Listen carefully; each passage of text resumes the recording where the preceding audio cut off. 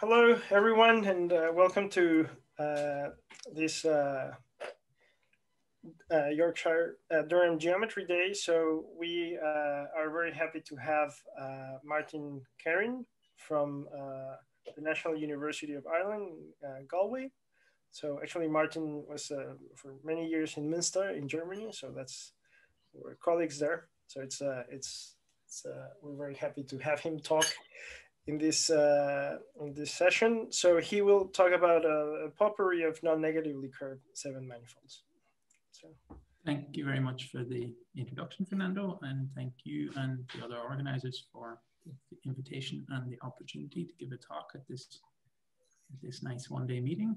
And unfortunately, I can't join you in person in Durham, which I was very much looking forward to, but know, it is what it is.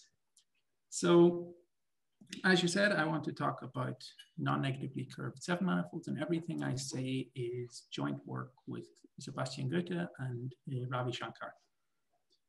And um, just as some basic motivation about non-negative cur curvature, um, it's of course one of the most fundamental concepts in, in Riemannian geometry. As soon as you define a metric, the first interesting invariant is a sectional curvature, and then it's natural to talk about sectional curvatures with a sign.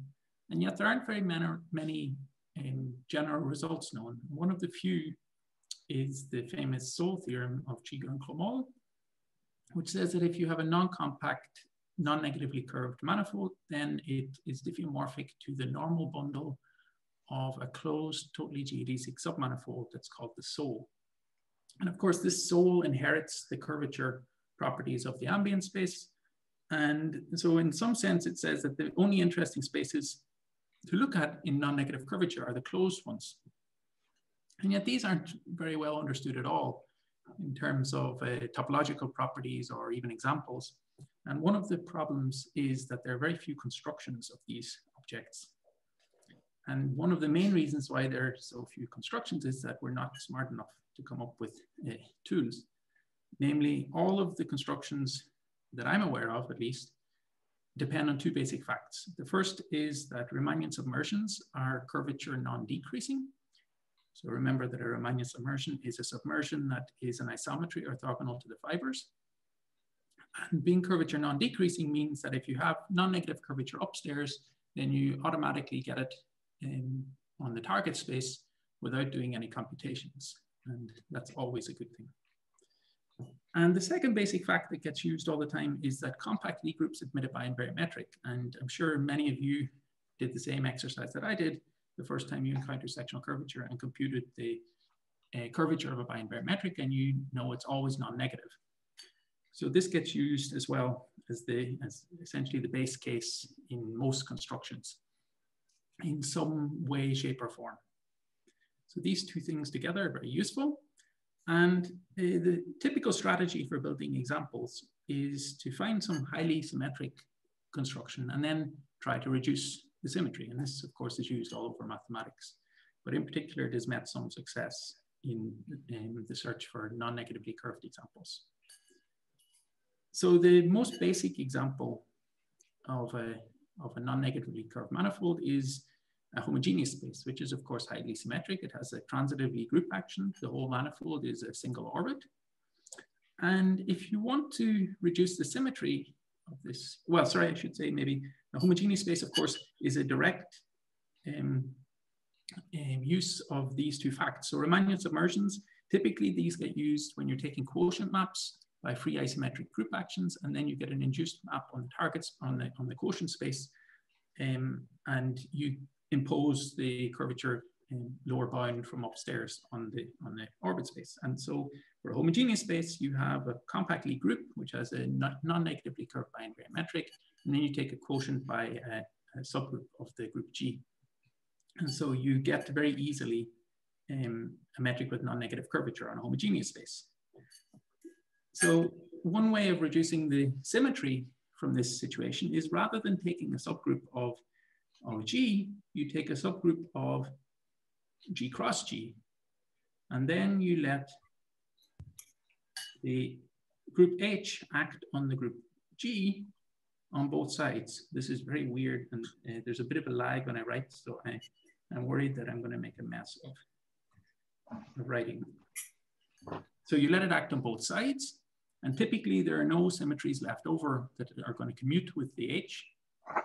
You can't, uh, without more information, you can't know it. And if this action happens to be free, then the manifold that you get as a quotient space, oops, that should be an H,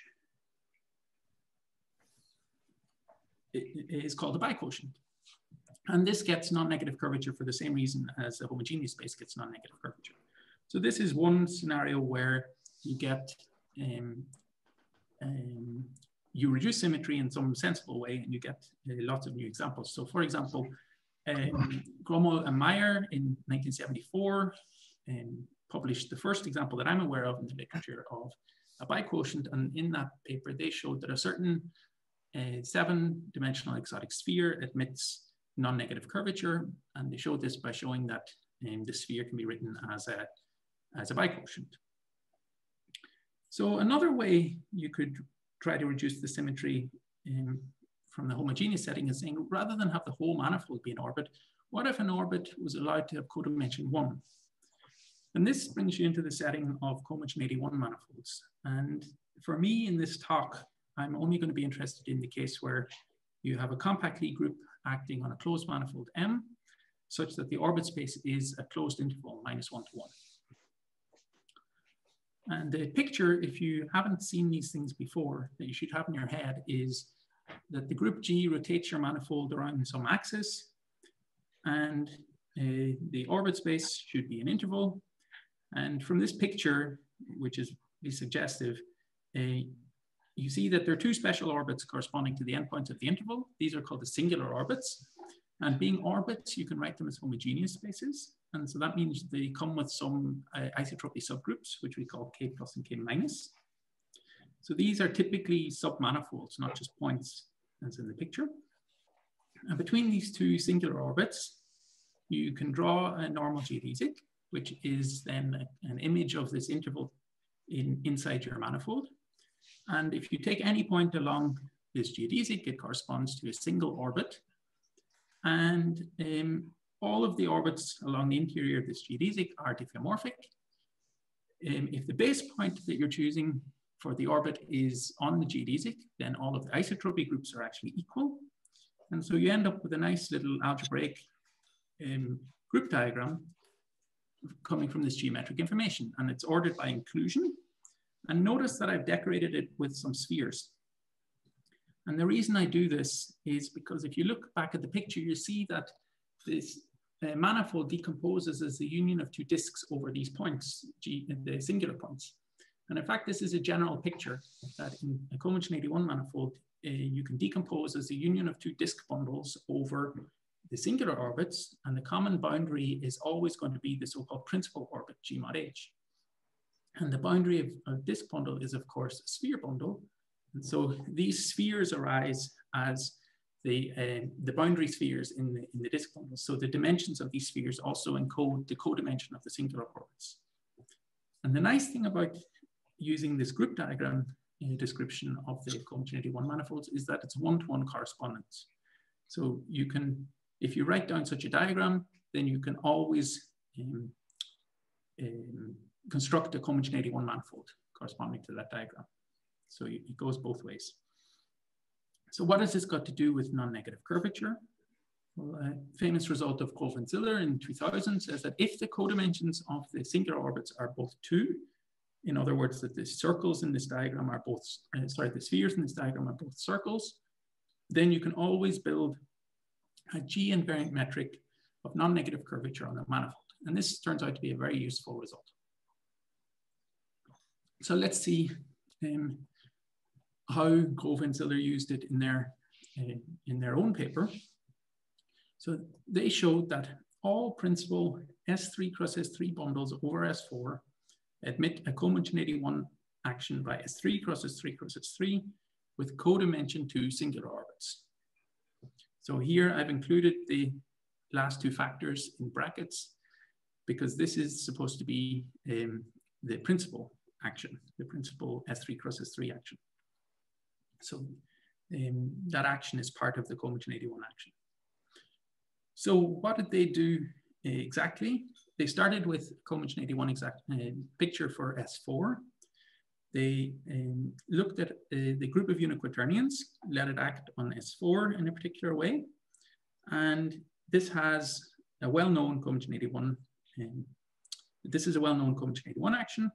The, um, the principal isotropic group Q8 is the uh, quaternion 8 group consisting of plus or minus 1, plus or minus i, plus or minus j, and plus or minus k. And pin 2 and pin 2 are just two copies of the group pin 2 inside the unit quaternions. And pin 2 is a one-dimensional Lie group consisting of two components. The identity component is the circle in the complex plane, and the second component is the image of the circle in the JK plane when you multiply by J. Pin 2 is exactly the same, except you just switch the role of I and J.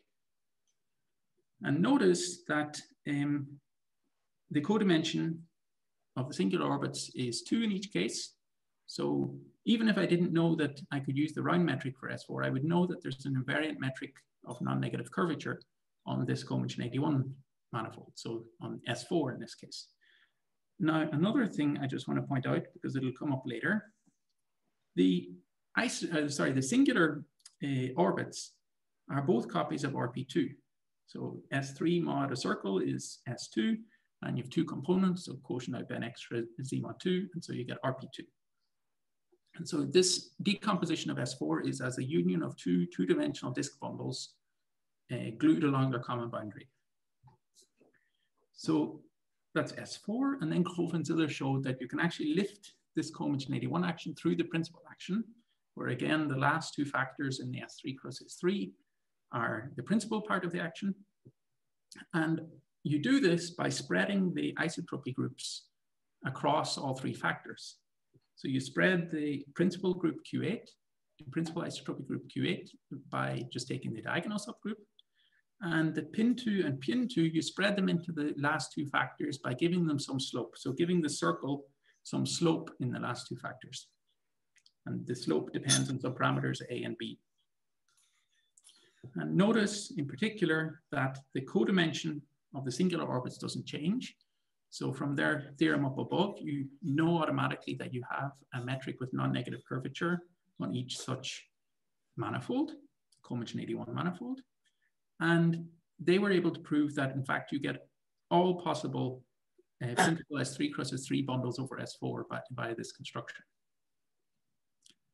So these all admit non-negative curvature. So that's good.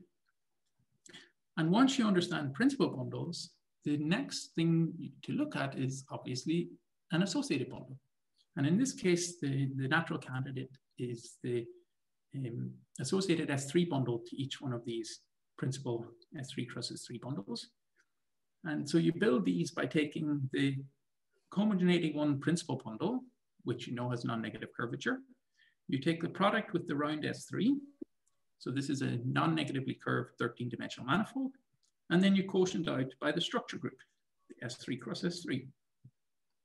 And this is a free isometric um, action. And so you get an induced metric of non-negative curvature on the quotient. So in this way, you get all S3 bundles over S4, admitting a metric with non-negative sectional curvature. And these manifolds have been studied, of course, for a long time. In particular, Milnor studied them and discovered um, seven-dimensional exotic spheres. And so a consequence of the Grove-Ziller theorem is that all of the Milnor spheres admit a metric with non-negative sectional curvature. So all exotic seven spheres, they can be written as S3 bundles over S4, admit a metric with non-negative curvature. So how many of these exotic spheres are there and how many of them are bundles? Well, that's a question to which the answer is known. So a combination of work of Milnor and Smale in the, in the late 50s, early 60s showed that there are 28 oriented diffeomorphism types of manifolds homeomorphic to S7. But because we're interested in curvature, we don't really care about the orientation. So you can forget about the orientation. And in that case, there are only 15 um, diffeomorphism types among these manifolds. So how many of them are bundles or can be written as bundles? Well, that was resolved by Eells and Kuiper. Soon afterwards, they wrote down a topological invariant, which classifies the, um, the homotopy seven spheres up to, oriented, up to orientation preserving diffeomorphism. And a consequence of their invariant is that the Milnor spheres account for 11 of the 15 possible diffeomorphism types. So they, there are these four um, non-Milnor exotic seven spheres that not much was known about, in particular in, in terms of non-negative sectional curvature, but there weren't even any good um, geometric constructions of these things. So that's one other consequence of our work is that we have a nice geometric construction of these objects as well. So which of the which of the um, um, exotic seven spheres are the non-Milnor ones? Well, these correspond to the elements of Z mod 28, which are plus or minus two mod seven, where the indexing is via the Eells-Kuiper invariant. And here's a list of, of them. Now, the eagle-eyed among you will notice that there are more than four here. There are, in fact, eight, but that's not a problem because they occur in pairs. So these are the same manifold, but with opposite orientations. And you'll see that each of the um, each of the entries there occurs with its uh, with its negative in ZMOD 28. So those just indicate the opposite or the change in orientation. So we're going to show that all of these have a metric with non-negative curvature. And in order to do so, let's dive a little deeper into the, the Grove and Ziller construction and look at it a, a bit more closely. So they built all S3 bundles over S4 as associated bundles to cohomogeneity1 principal bundles. But if you look at it a little bit, you can rewrite the fiber here as a homogeneous space, S3 cross S3 mod the diagonal S3. And when you do this, it's very apparent what, what the structure group is doing to the fiber. So it's going to act transitively on this homogeneous space, and the diagonal S3 has to do something. And what it does is it gets whipped around and it acts on the cohomogeneity one manifold. So it turns out that you can rewrite these associated bundles as straight up quotients of the cohomogeneity one 10 manifolds. So this sort of gives you an idea of, of what's happening. Now, I just want to point something out here. So how does the diagonal S3 act? So the group, remember, is S3 cross S3 cross S3. And uh, the diagonal S3 sits inside there as the diagonal subgroup in the principal action. So it's trivial in the first factor. And remember that a cohomogeneity one manifold is foliated by homogeneous spaces. So the U here is any of the isotropy groups. And the diagonal S3 action is just going to act on the left of each of these homogeneous spaces. And it turns out that you can write each of these things then in a, so that's a biquotient, but you can turn, it turns out you can write them as biquotients of S3 cross S3 by just doing a little um, manipulation. And the action here of the, the group U in each case, so this, remember the U is either the quaternion 8 group or one of the copies of pin 2. And it acts on S3 cross S3 in the following way. So it's acting such that on Q1, it acts on the, on the right by U1 inverse, and on the left of Q2 by U2, and on the right by U3 inverse. So that's a, that's a nice um, action. And in, at least in the Grove and Ziller situation, you know for free that this um, action is a free action because you already know that the quotient is a manifold. Now, the reason I wrote this down is because if you look at the at the first coordinate there, the Q1, you can see that you can still multiply on the left by a unit quaternion. So there's still an S3 action left over that's acting on each of these individual biquotients in the quotient when you go down to the quotient space. And plus or minus one is always going to act trivially, it turns out. So what you end up with is a leftover SO3 action. So there's SO3 symmetry on the quotient space in, in these examples. And you can see where the action is. Okay, so in this way, you get a decomposition of these seven manifolds or a foliation of these seven manifolds by biquotients rather than homogeneous spaces. So it looks very similar to a homogeneity one picture, except now the foliation is by biquotients.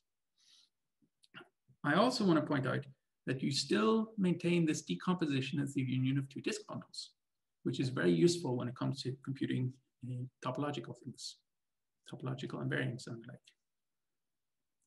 Okay, so um, let's look at the slopes that Grove and Ziller were working with. So remember, they were working with starting from S4. So they were forced to take a, a one in the first place. So remember, this is for uh, the slope of the circle in the pin two group sitting inside S3 cross S3 cross S3. So because they started with S4, they were forced to have a one in the first place.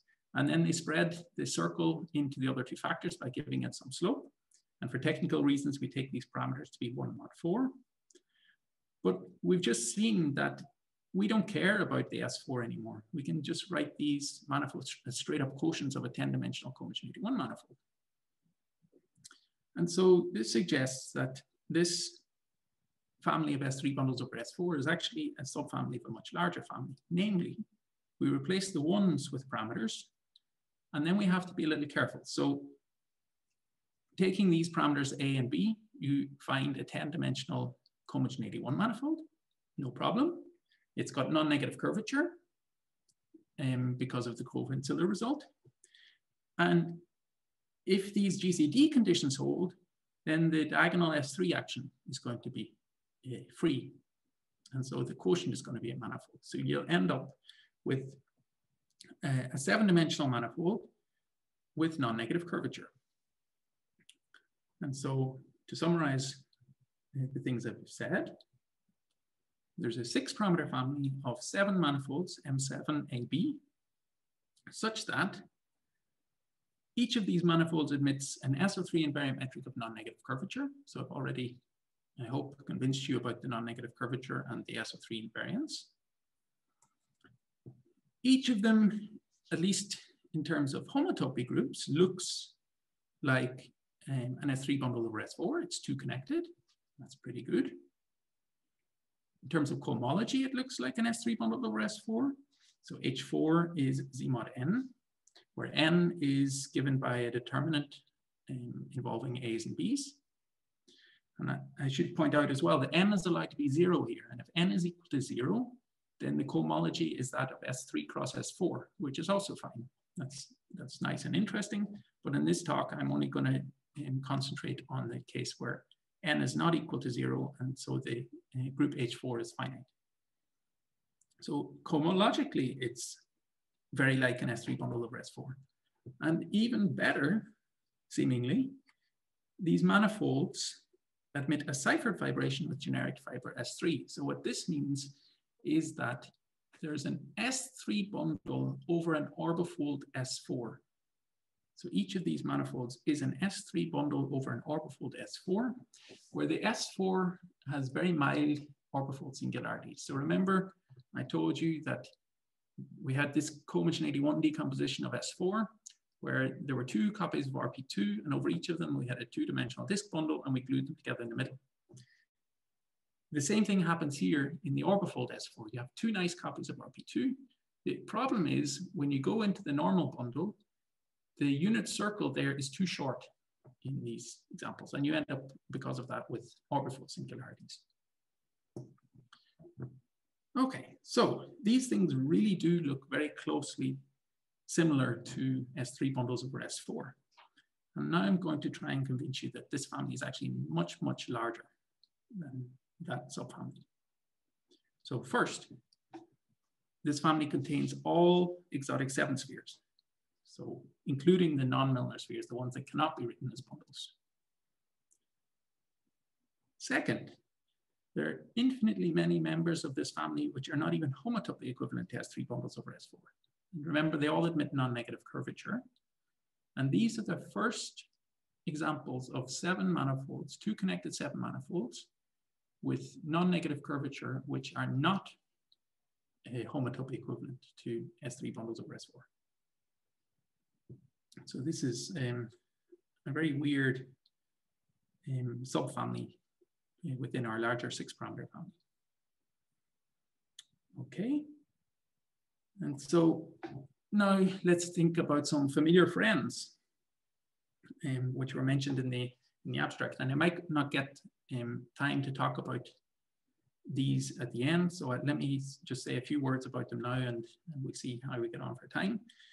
So inside the SO3 um, action on, on our seven manifolds, if you take a cyclic group, Z mod D, you can check for freeness of this action. So it's going to be an isometric action, and you want to know when it's free.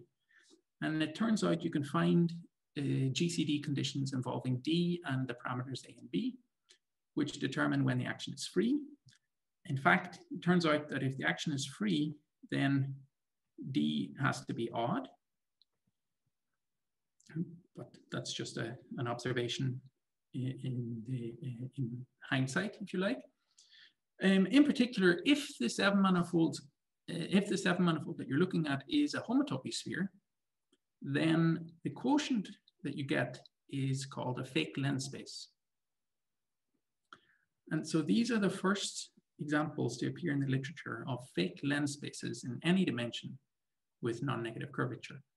Now, it turns out that when I was preparing a version of this talk um, a couple of months ago, um, I went digging around in, in some of the literature to understand fake lens spaces a bit better. And um, if you put together some very old work of Orlik, I think in the 60s, with some of the observations of Grove and Ziller and some of the Brieskorn constructions of the five sphere, then you can show that there are also five dimensional fake lens spaces which admit non-negative curvature, but that's not written down anywhere.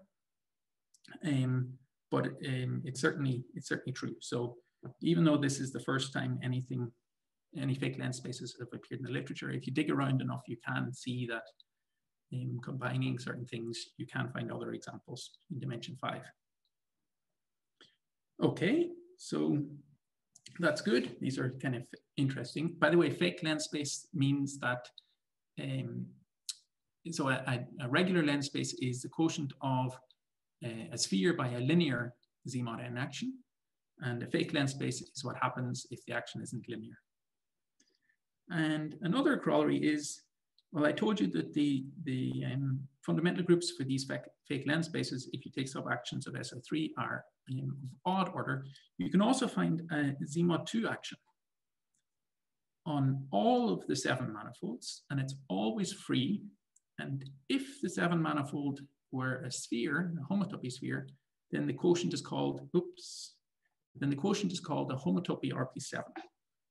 And there are at least um, 28 um, oriented homotopy types of these. So one for each homotopy 7 sphere, oriented homotopy 7 sphere, um, at least with this construction. Now, I suspect this is exactly 28 for this construction because at least for the Milnor spheres, it is known that um, no matter which representation of the Milnor sphere you take within our family, um, the within, sorry, the S3 bundles over S4, you only obtain uh, a single um, diffeomorphism type of the homotopy RP7 um, when you take the quotient by this uh, involution. So what is this involution? Um, I told you that each of these manifolds is essentially a bundle over some orbifold S4, oops, orbifold S4.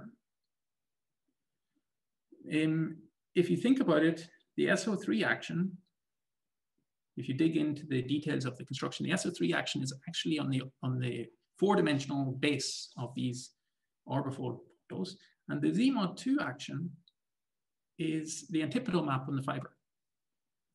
So if you're dealing with um, the S3 bundles over S4, this all um, you don't have to be careful at all. Everything is, is uh, coming directly out of the construction, but um, with these orbifold bundles, you just have to be a little bit careful, but this is essentially what's going on. So you see that the ZMod2 doesn't live inside the SO3, but you can combine um, these two actions and you can get um, you can get cyclic group actions of order 2D as well for any D odd.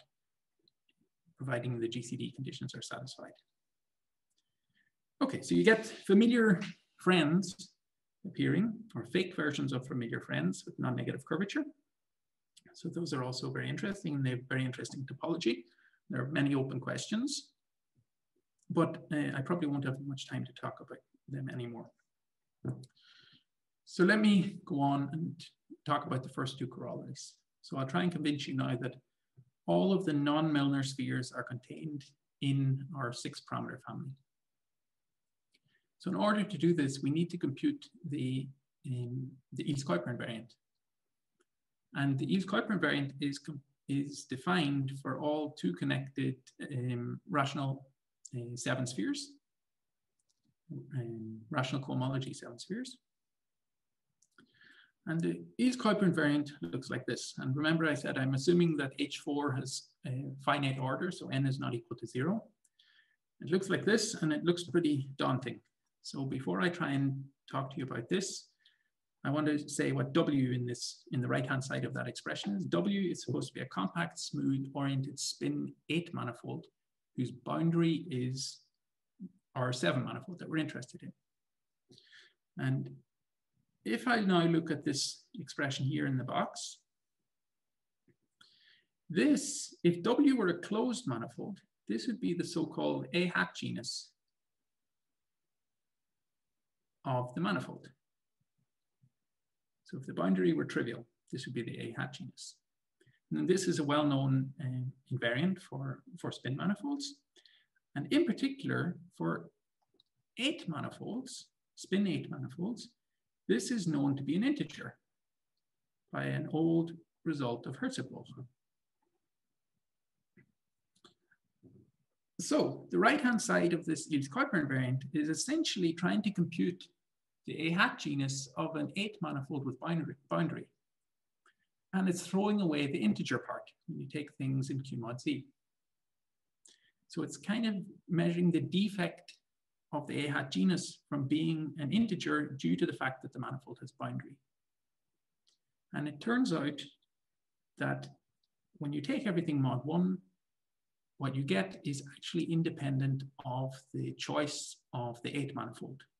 So it doesn't matter what you choose for W, as long as the boundary is M, you'll get the same thing coming out. And this is the Eells-Kuiper invariant. So what do the other terms mean? The J here is an isomorphism you get in the long exact cohomology sequence for the pair with rational coefficients uh, due to the fact that the seven manifold is a rational sphere. So you get an, an isomorphism for free. And using this isomorphism, you can pull the first Pontryagin class, the first rational Pontryagin class for the manifold W back to the pair, it typically doesn't make any sense. And then you square it to get into the top degree and apply it to the fundamental class for the pair, and this gives you a nice rational number. And the sigma here is the signature of the pair. And there's nothing mysterious about this either. What you do is you take any old class in the fourth rational cohomology of the pair. You square it, get into the top degree, you apply it to a fundamental class. This defines a, a symmetric bilinear form. And so you can compute the signature of this symmetric bilinear form, and that's called the, the signature of the pair. And so this, um, uh, all the terms there are, are sort of standard in topological invariance. The problem is that you don't know in general which W to pick. So if you have an S3 bundle over S4, it's pretty obvious which co-boundary you choose. But for the general man manifolds in our family, we have no idea which, which W's to choose. And so this isn't a very useful description of the invariant. However, I told you that it depends really only on the boundary M. So you might hope to be able to rewrite this entire expression just in terms of M, and you can do that. But you have to pay a price.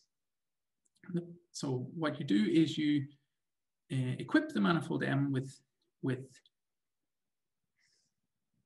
with the metric, some background metric, GM. Then you have pick your favorite co-boundary. So abstractly one exists at least. You extend the metric into this co-boundary. so that it's a nice product near the boundary M. And then you apply the Atiyah-Patodi-Singer index theorem for uh, manifolds with boundary, for eight manifolds with boundary. And uh, then using work of Kreck and Stolz and Donnelly, you can derive uh, an alternative formula for the Kuiper invariant of M, just involving the geometry of M with this background metric GM that I, that I uh, mentioned. Now, I should maybe say that this background metric is not the same metric that has non-negative curvature. This background metric is chosen so that the computation of each of these terms um, becomes tractable. So what are these actual terms?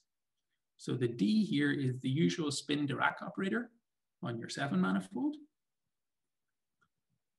B is the so-called odd signature operator on the seven manifold. And this is given by taking the commutator of the differential with the Hodge-Star operator applied to differential forms of even degree on your manifold. Okay, so because the Hodge-Star operator depends on the metric, this, this is something that depends on the metric. And both of these guys are um, operators of Dirac type. That means when you square them, they look like Laplacians. HD in this formula is the dimension of the kernel of the spin Dirac operator. And the eta here is the eta invariant of an operator of Dirac type. So I told you that that means that when you square the operator, it looks like a Laplacian. Um, so the eta invariant is the price you pay in the in the Atiyah-Singer index theorem for a manifold having a boundary. So the, the boundary version of the Atiyah-Singer index theorem is the Atiyah-Patodi-Singer index theorem, and the, the defect term that occurs in that theorem is called the eta variant. Alternatively, given that the squares of these operators look like Laplacians, you know that the spectra um, of the operators are uh, consist of real numbers. And so the eta invariant can also be viewed as a measure of the asymmetry of the eigenvalues of your operators around the origin. So they have real spectra. Okay, so this is um, sort of a standard geometric analytic object. It's not easy to compute by any manner of means, but it's well studied. The P1 inside the integral here is the Chern-Weil uh, Pontryagin 4 form that you construct from the curvature 2 form. And the P1 hat is a three form whose differential is the Chern-Weil 4 form. And you know such a three form exists because we're dealing with rational seven spheres. So the fourth rational, the fourth de Rham cohomology group is trivial. So you know that uh, some such three form has to exist. Okay, so uh, that's what all those terms mean. That's a, a nice uh, formula for the Eells-Kuiper invariant in terms of just the geometry of M with respect to some metric. And then the hard work starts because you have to compute all, of these things. And that is uh, really not fun. So I'm not going to talk about that at all. I'm just going to tell you what the Eells-Kuiper invariant is. So you get this nice um, rational expression at the front. I'll tell you in a moment what M is. And then you get uh, sort of two um, slightly pro problematic terms, dA and dB. So one for each half of the disk bundle decomposition of your manifold.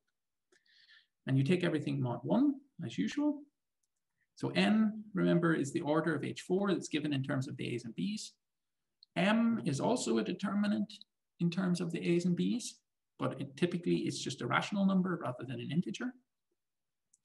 And the dA and the dB are generalized Dedekind sums. So they're complicated rational functions in uh, sines and cosines um, involving the parameters A and B. And these see the fact that your manifold is not the total space of a bundle. So they're seeing the orbifold singularities in the in the uh, leaf space of your Seifert fibration. So this orbifold S4. So they're detecting the failure of your, of your manifold from being the total space of a true bundle. However, one half of your manifold may be a true disk bundle over half of S4. And in that case, the, the generalized Dedekind term would vanish. So that's uh, sometimes very useful. So here's some uh, explicit one parameter family of examples. So we take the parameters A to be minus 3, minus 3, 1, and B to be 1 LL, where L is 1 mod 4 as usual. So the first thing maybe I'll say is because A1 is not equal to 1, we're not talking about an S3 bundle over S4. So we're away from the, the Grove-Ziller situation. Um, on the other hand, because we have a 1 here, the half corresponding to the, to the B parameter, it does look like a true bundle. So the, the Dedekind sum term for this half is actually going to vanish. So that's going to be nice. Okay, so you plug in to the definition of n to determine the order of, of H4. Turns out n is minus 1, so H4 is going to be z mod minus 1, so it's going to be trivial, which means that your manifold is homeomorphic to uh, 7. Now, it could be that we've just discovered the standard sphere in many complicated ways.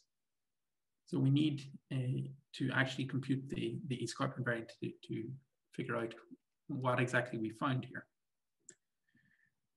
the nice thing about these parameters is I told you that taking B1 to be equal to 1 means that the, the Dedekind sum term there um, doesn't cause a problem, it vanishes.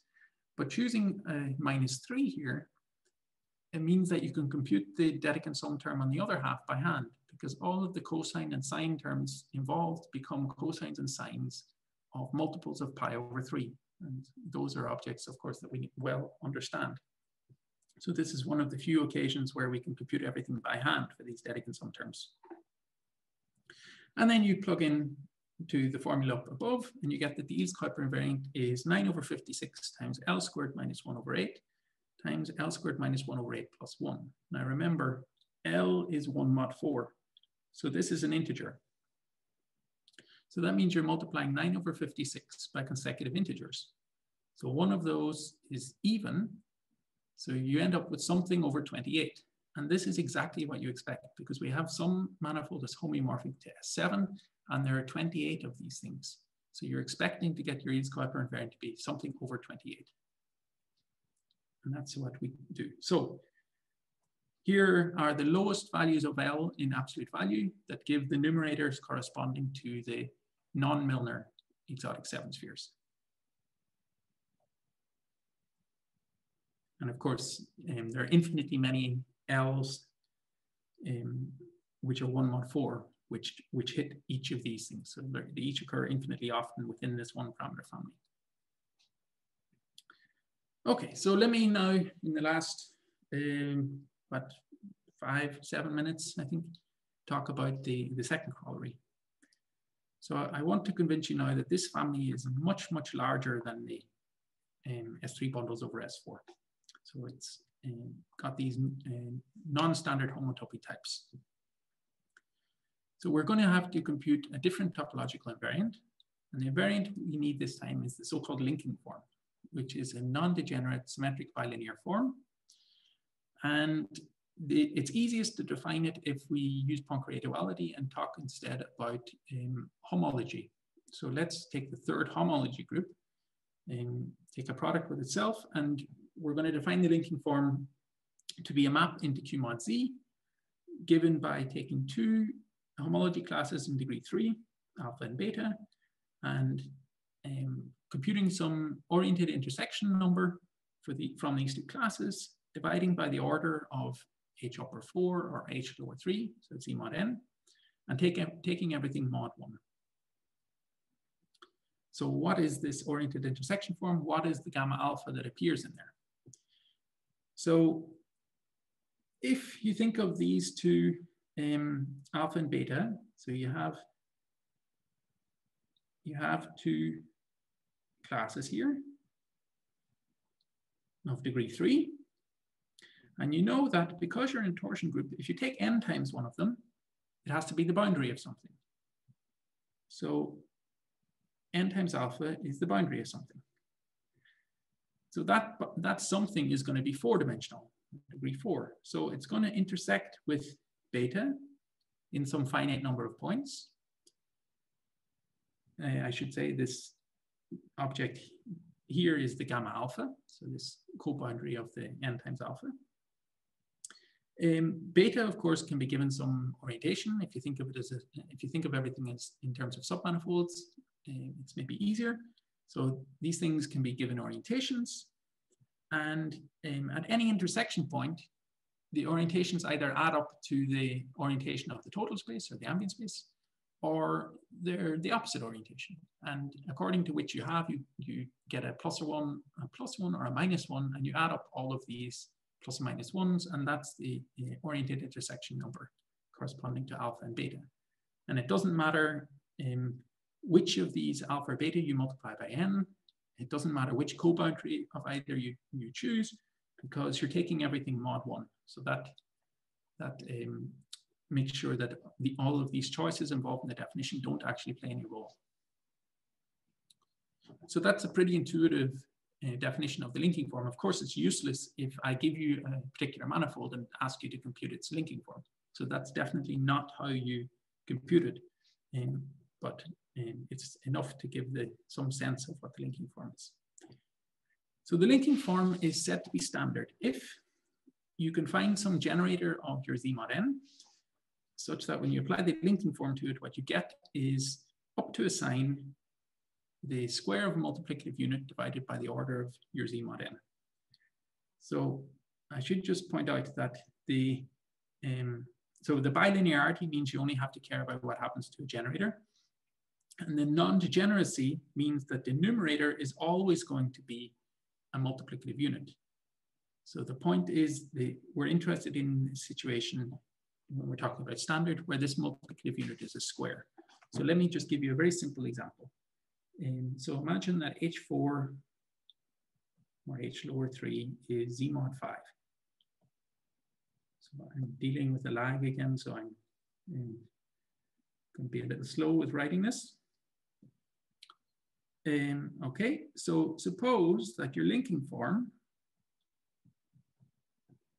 were given by 2 over 5. So the linking of some generator of Z mod 5 with itself were 2 over 5. Well, you know, of course, that the multiplicative units in Z mod 5, which are squares, are 1 and 4. Just square them all, and you see it um, immediately. And of course, you know that plus or minus 2 mod 5 are not in this set. So this linking form is not standard. So this is the sort of thing that we're going to be looking for in a moment, and I'll tell you why. But the key point is that minus 4, or sorry, 4, namely minus 1 mod 5, is a square. So it turns out that the key point when we're looking for these non-standard linking forms turns out to be finding situations where minus one is a square mod n. So you're really talking about quadratic reciprocities when, you, when you're looking for these um, non-standard linking forms. So what has this got to do with our non-negative curvature family? So there's a theorem of Kitchloo and Shankar, which adapted to our situation says that the manifold M7AB is homotopy equivalent to an S3 bundle over S4 if and only if the linking form is standard. So we are looking for non-standard linking forms among our manifolds. So that's why I used the term non-standard before when I talked about the corollary. Okay, so this is the linking form. I'm not going to tell you how to compute it. You use the cohomology de definition, which um, which is defined in terms of the Bockstein homomorphism, and you use strongly the uh, decomposition as union of two disk bundles, and you do lots of very subtle diagram chasing, and you can compute this. So it's, it's an elementary um, algebraic topology in a complicated way, put it that way. So the linking form of some generator is plus or minus q over n, where the q depends on a and b as follows. So and you can see clearly the, the uh, dependence on B and the RNS depend on A because they come out of the Euclidean algorithm applied to the A's. Remember we had these GCD conditions on the A's and the B's, uh, which had certain, we're saying that certain things were co-prime. So using this and applying the, the, Euclidean algorithm gives us some R and S. And um, we, this gives us the RNS in the, in Q. And you can change, you can switch the roles of the A and B in these uh, two expressions.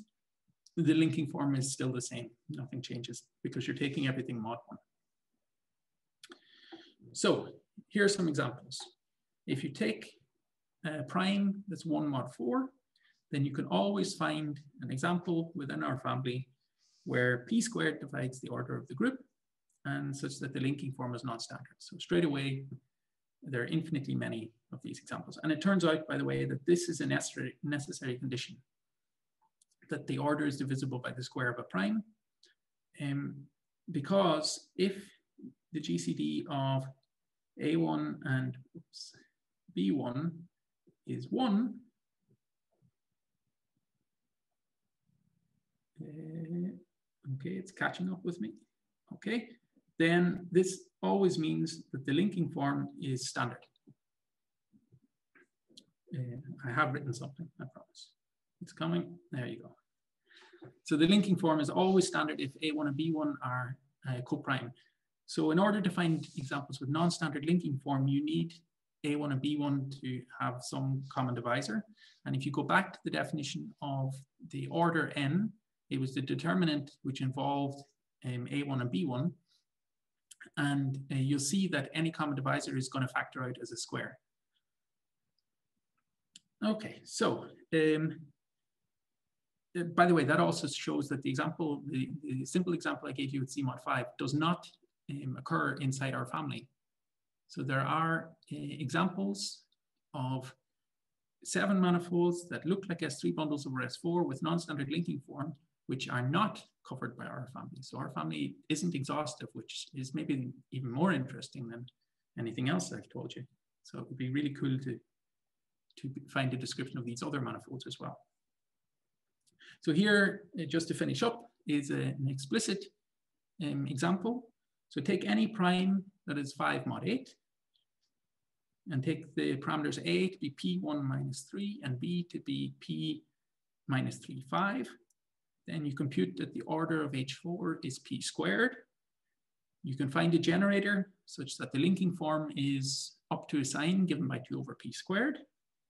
And this is always non-standard. And the reason is because of a classical theorem in quadratic reciprocities, which says that plus or minus 2 are, is a square mod p if and only if p is not uh, 5 mod 8. So the odd prime p is not 5 mod 8.